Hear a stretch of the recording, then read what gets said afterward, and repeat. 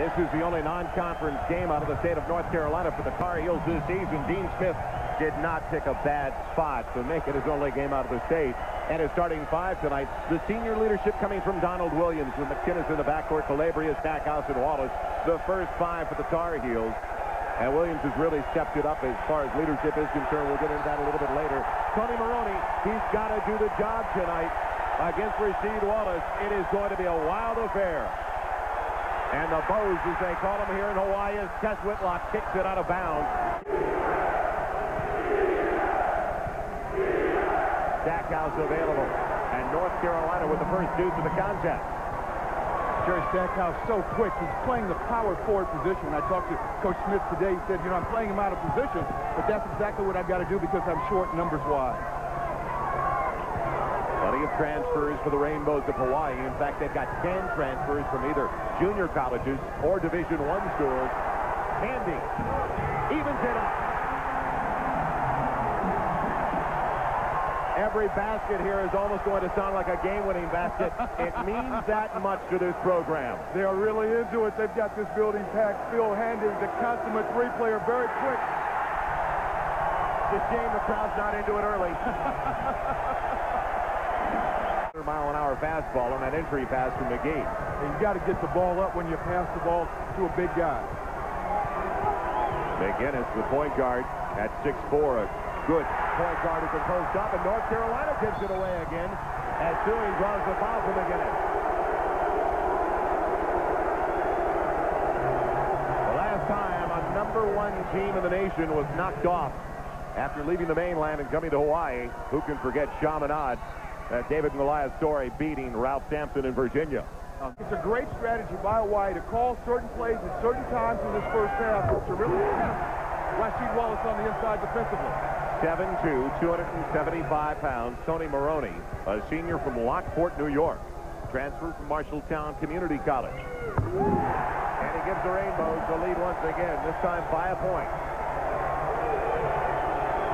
Both teams throwing the ball away regularly to start the contest. Donald Williams for three. You've got to get back defensively. On a made or a miss, Hawaii's got to do a much better job of getting back in transition, finding the basketball, and then containing it. What a read by Stackhouse. Jerry Stackhouse.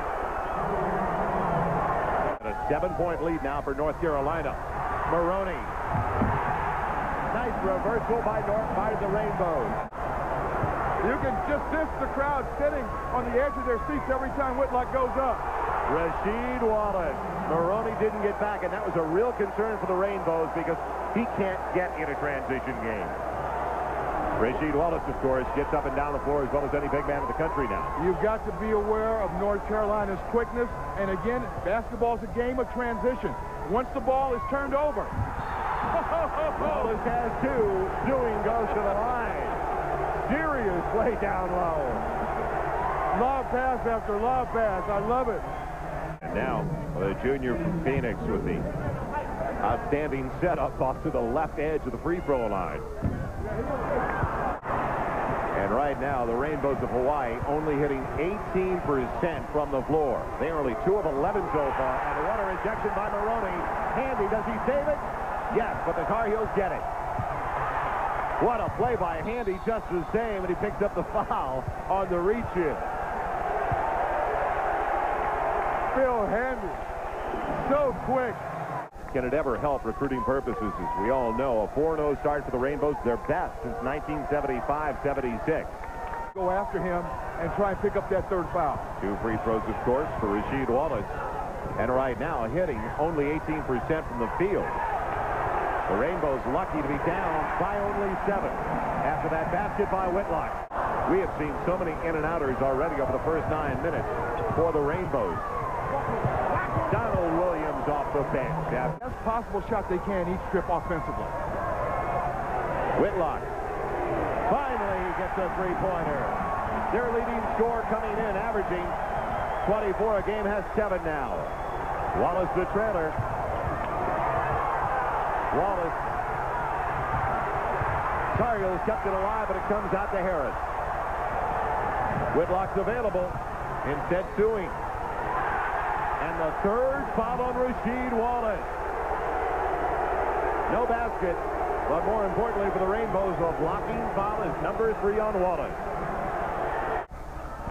Saved by Whitlock at the half-court line. The nine-point game, Whitlock over Zwikker.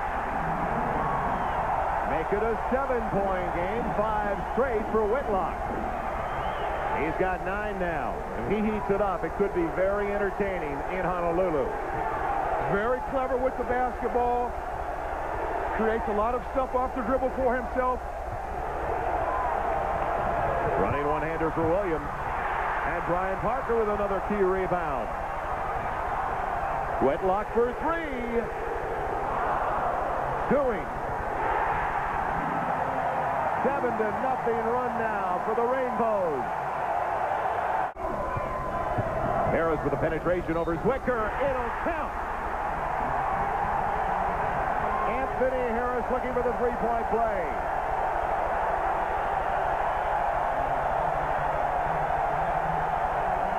Labria off on the three-point attempt.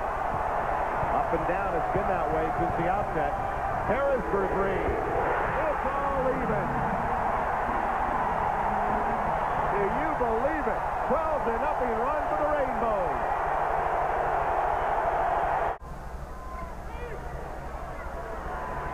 North Carolina in the zone.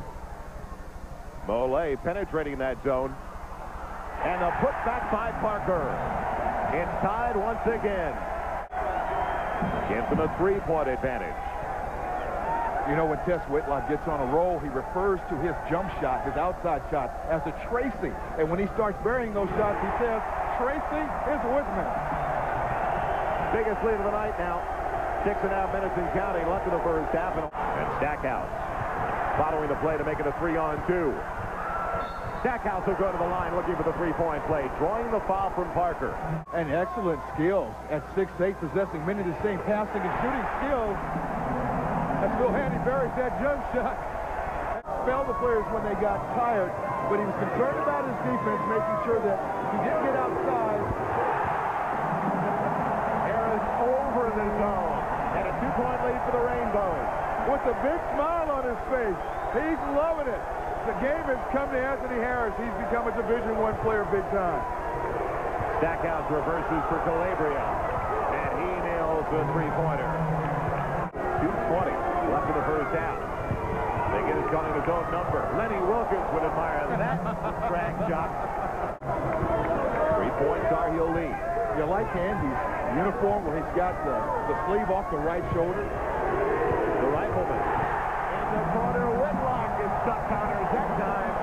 It's even at three at 38.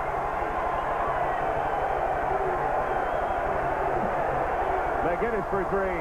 That'll find him. But, and at the break now, it is North Carolina 44, the Rainbows of Hawaii 38. And We head to studio now with John Saunders.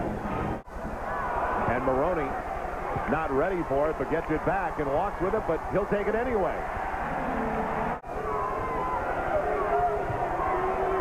See if they try to get Wallace involved with the offense early in the second half.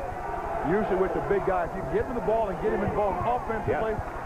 You call that right. Get him down on the block, get his confidence going. It can help his confidence and his play at the defensive end. Wallace has eight now, He's, and even 50% from the floor at three of six. And North Carolina in a 2-3 zone, test the outside shooting of Hawaii, also protect Rasheed Wallace. Maroney trying to draw that fourth foul is blocked by Wallace as Calabria comes up with it. Williams, he's hit his first two. He, Going right inside, and there you see Rasheed Wallace really giving up position to Tony Maroney, but he played the shot instead of playing the man.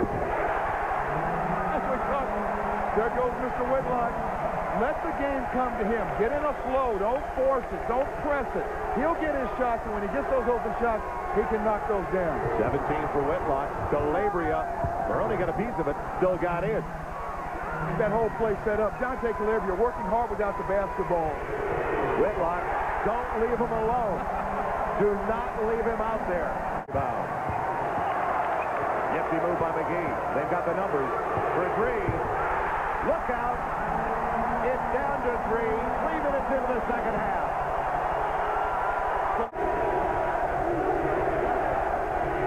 Three-point lead for the Tar Heels. Back out. Makes it five. They want to drop it low to Wallace against Maroney. You got to like that matchup, and it's a seven-point lead. Slowly playing, fitting into the system, doing exactly what Coach Smith wants him to do. Donald Williams making it a nine-point advantage now for the Tar Heels. Four straight for North Carolina. Donald Williams doing it at both ends. He's throwing Tess Whitlock on defense. Doing before a stack out, could jump out.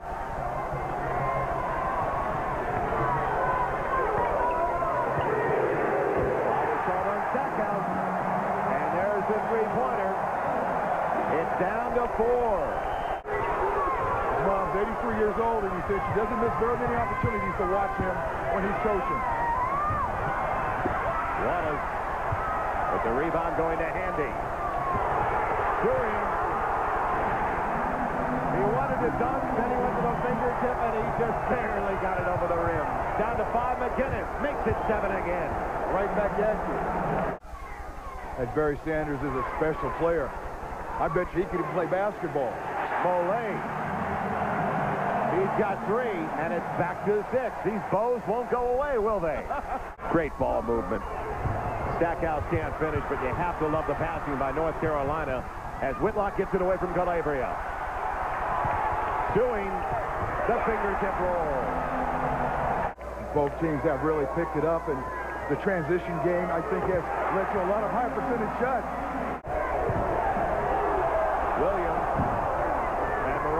Block out. The break is there. And the factor goes. Alika Smith hasn't played at all tonight. Comes off the bench and gets a big one. A high school phenom.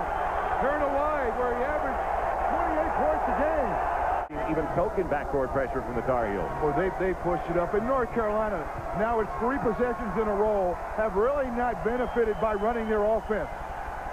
They've gone one-on-one and have not taken good shots. Doing, did they ever break down that trap? It was a textbook pass. It's down to four. Hawaii worked on that press offense all week long, playing against six players to ensure that they would get the ball in the middle and then attack North Carolina if they went to that full court defense. McInnis doesn't get the one-on-one move against McGee. Three on three. Boy, is that tough for a true freshman. He wanted to take that shot. That's the shooter's mentality. You never see a shot you don't like. Maroney on the entry. Dewey took it away from his own teammate. The true freshman. And a wall. Oh, Did he ever take that? Oh, Back out. He'll go to the line looking for the three-point play. With three and a half minutes left in the game. Nifty work by McInnis to find Wallace. Wallace gives them their largest lead now in the second half at 11.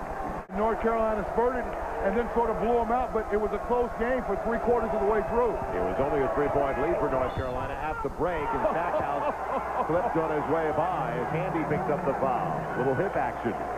Misses the free throw. That's been his story all night long, though. He's only 5 of 11 at the stripe as Handy hurries it and gets it.